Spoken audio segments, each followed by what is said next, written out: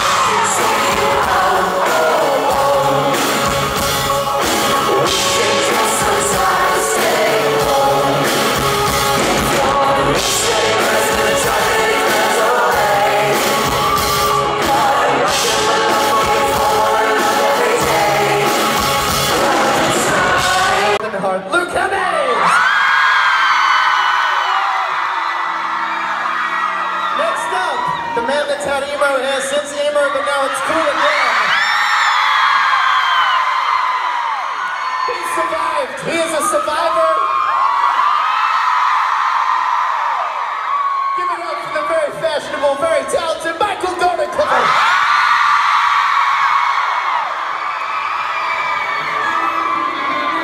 Big Allman Brothers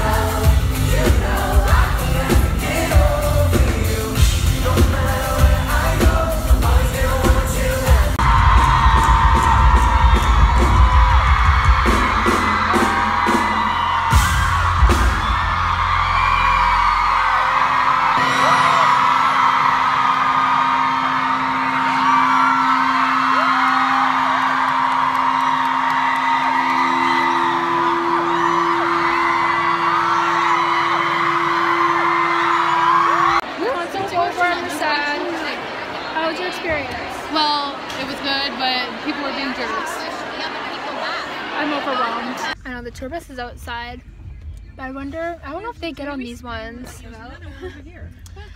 And what's it called? Um, I am so surprised how close we got based on like where we were in line. We were literally like one of the last people in line.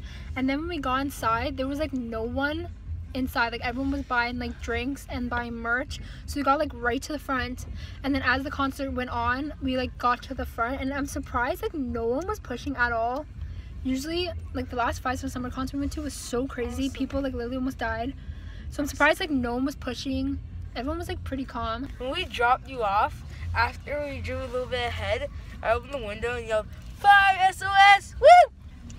That's it. Bye. Yeah, we almost caught a guitar pick. The girl in front of us was like seven feet tall. I saw didn't throw the guitar pick. It was someone that was like replenishing the guitar picks. No, Michael He was. no, he didn't throw that one. Because he was looking at me, and then no, he didn't throw that one. Not that the one that fell on the floor. Look, it's like just one of the workers threw a guitar pick, and it like fell in front of the girl that's like seven feet tall. And I had a light, so I'm like, oh, whatever. I'm gonna be nice and let her catch it, which I shouldn't have let her do that. I should have got it myself. And took amazing Polaroid pictures of them, like literally incredible. I was just snapping my Polaroid camera the entire time trying to get pictures. Okay, good night.